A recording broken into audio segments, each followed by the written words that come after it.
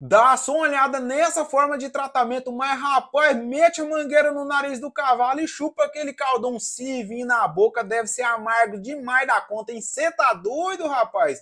Turma, brincadeira à parte. Ali é quem é veterinário e quem trabalha na fazenda já viu fazendo isso aí. É comum, é fazendo o tratamento ali para acabar de uma vez por toda com a cólica com o cavalo. Pois quem sabe, cavalo não é de aguentar muita dor. Então, a cólica dá muita dor no cavalo ali. Se não solucionar, você perde seu cavalo fácil. Cólica é inimigo do cavalo. Ah, mas como que eu faço ali para identificar se meu cavalo está com cólica? Você sabe ali que a tropa em si é um animal que é muito ativo, beleza, turma? E um cavalo com, com cólica ali, ele é um animal que fica triste ali, com a cabeça baixa, não suplementa corretamente, você mexe com ele ali, ele não desenvolve bem, pode chamar um profissional para solucionar seu problema, porque o seu animal está com cólica, beleza? E aí é o seguinte, precisa de um profissional ali, porque no caso ele precisa fazer esse tratamento na qual tem o nome de sondagem nasogástrica, beleza, turma?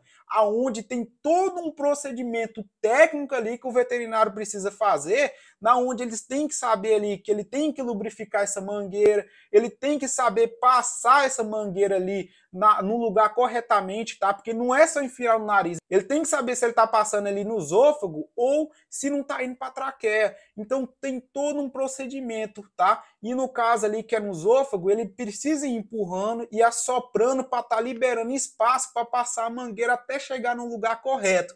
Depois é puxar para fora aí, né? No caso ali, como o animal ele não consegue vomitar, pelo caso ali dele ter uma estrutura em si animal que não é preparado para vomitar, tem que realizar o procedimento manual. Então, nada mais o que ele está fazendo ali é fazer com que o animal vomite ali para ele liberar tudo aquele processo, aquela coisa ruim que está no estômago dele ali, que está fazendo com que está gerando a cólica, beleza, turma? E aí tem que ser feito manualmente esse procedimento, já que o animal não consegue vomitar.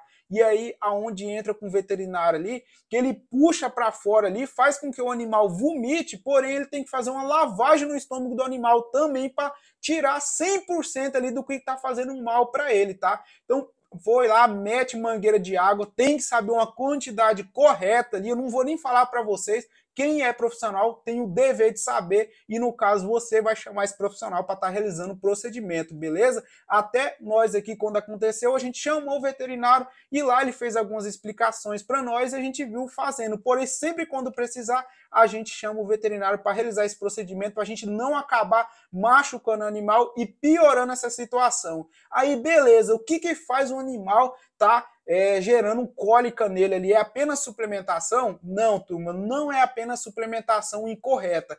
Leva, tem vários e milhares de fatores ali que eu vou te falar para você. Até questão do animal ter estresse acaba tá acaba fazendo com que ele tenha a cólica, tá? Então você tem que ser ativo com o seu animal, sempre estar tá ali do lado do seu animal para você saber se ele não está com tal da cólica. Então se você vê alguma coisa de errado com o seu cavalo, chama um veterinário para ele estar tá solucionando seu problema, beleza, turma? Deixa o joinha aí para ajudar a gente até o próximo vídeo, beleza? Falou, turma!